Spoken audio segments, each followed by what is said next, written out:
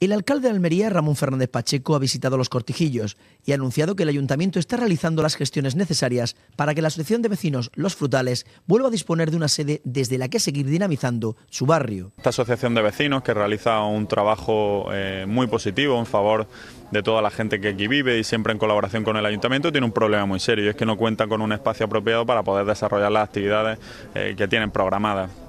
Y nosotros hemos venido hoy aquí a comprometernos con ellos, a comprometernos a que le vamos a aportar una solución y que mm, eh, muy pronto la Asociación de los Frutales de los Cortijillos volverá a tener una sede aquí en su barrio para que realicen no solamente las actividades que ya hacen, la magnífica labor de colaboración con el ayuntamiento, sino también que puedan ampliar ese, ese número de actividades. La presidenta del colectivo, Carmen Balaguer, se ha mostrado agradecida por la implicación municipal e insistido en que sin sede los vecinos están bloqueados y no pueden desarrollar todas las actividades programadas en su barrio. Han hecho varias labores, pero sobre todo lo que nos interesa es el, otro. Y ante todo quiero agradecer al, al alcalde y a todos los concejales el poder venir hoy a visitar el barrio y que vean las deficiencias que tenemos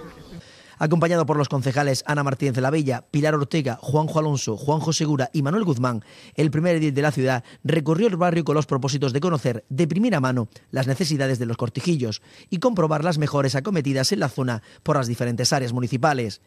El encuentro con vecinos en los cortijillos queda enmarcado en las visitas a los barrios que realizan habitualmente el alcalde y los concejales con el propósito de escuchar, aprender y mejorar todo aquello que está en mano del Ayuntamiento de Almería.